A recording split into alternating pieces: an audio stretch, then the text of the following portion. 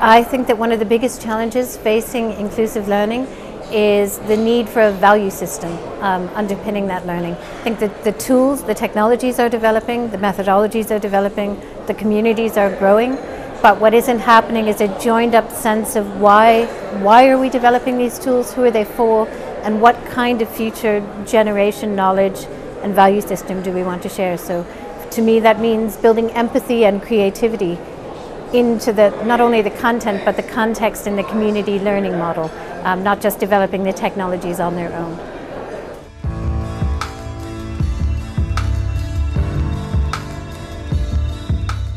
The most important message I believe is that, that education systems are broken and we can't keep fixing them little tiny bit at a time to justify the expenditure of previous generations. We need to start again.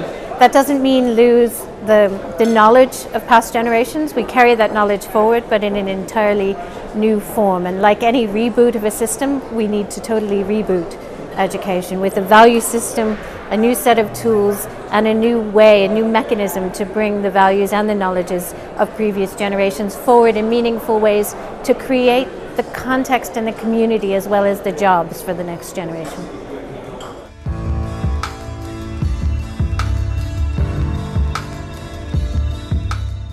I think this conference is a fantastic one and it's a great example of why these kinds of networks matter. They're networks of really intelligent, caring people who want to fix this problem of broken education. And we can all sit at home or in our own classrooms or our own universities and talk about it, but it's only when people meet together um, in real space and address issues um, not only during the sessions but afterwards, that we carry this work forward and begin to build the teams that will build the tools for the future.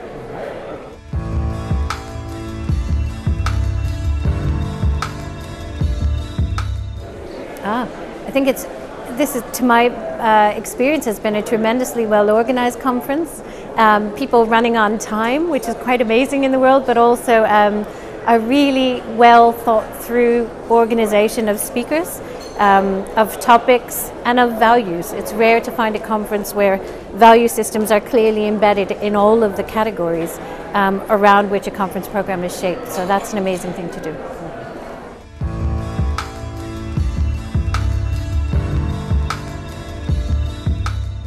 I believe that 10 years from now, our whole concept of what a school is will be history.